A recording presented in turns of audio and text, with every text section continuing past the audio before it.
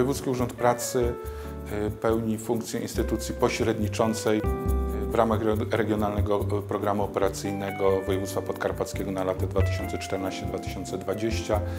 Odpowiadamy za trzy osie priorytetowe dotyczące rynku pracy, integracji społecznej i edukacji.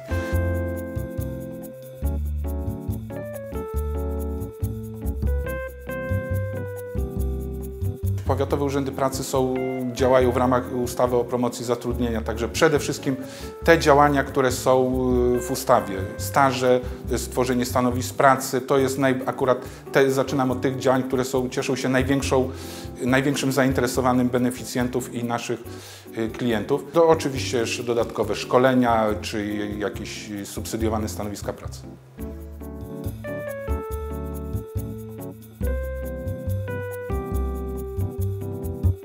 Tym roku mamy zaplanowane 8 konkursów w ramach Regionalnego Programu Operacyjnego, jeśli chodzi o trzy osie priorytetowe, yy, integrację społeczną, rynek pracy i edukację.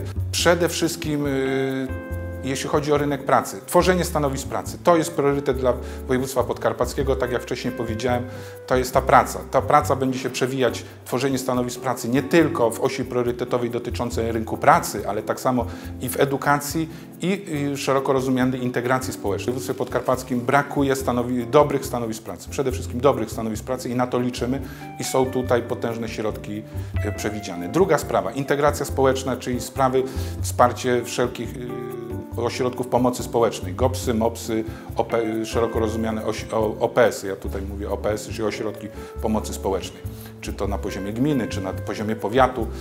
Tutaj naprawdę rozpoczynamy od tego i działania nakierowane tak samo na tworzenie stanowisk pracy dla osób zagrożonych wykluczeniem.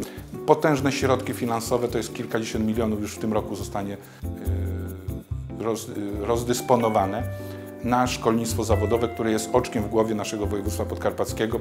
Dzisiaj rynek pracy dopomina się o wykwalifikowanych y, pracowników.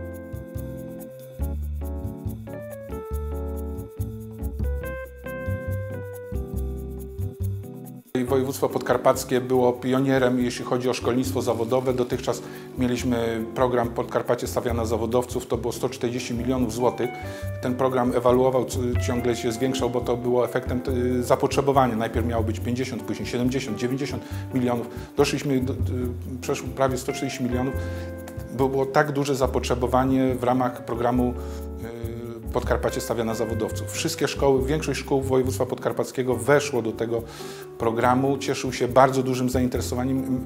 My jako tutaj po drugiej stronie, czy jako ci operatorzy, jesteśmy z niego bardzo zadowoleni i dumni, ponieważ ten program naprawdę był idealnie skrojony pod potrzeby naszego województwa.